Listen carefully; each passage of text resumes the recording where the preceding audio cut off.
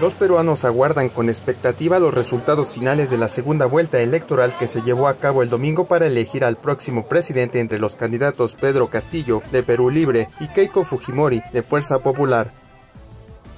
De acuerdo con el 94,2% de las actas procesadas por la Oficina Nacional de Procesos Electorales, OMPE, hasta las 11.48 hora local de lunes, Castillo lleva 8.418.299 sufragios, 50,10%, y Fujimori obtiene 8.384.107 votos, 49,89%, una diferencia de apenas de 34.192 votos.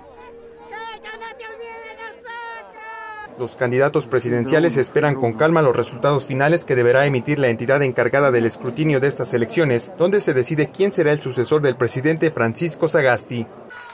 Keiko, de 45 años e hija del expresidente Alberto Fujimori, espera en el centro de prensa de su partido y ha asegurado que respetará la decisión del pueblo peruano. Castillo, un educador rural de 51 años, quien se encuentra en la sede de su partidario, también exhortó a sus seguidores a mantener la calma y acatar los resultados finales sea cual sea el resultado. La OMPE precisó que los resultados finales serán decididos por el voto en el extranjero y por los votos de las zonas rurales que aún falta escrutar. Con información de la oficina en Lima, Perú, Noticias Xinhua.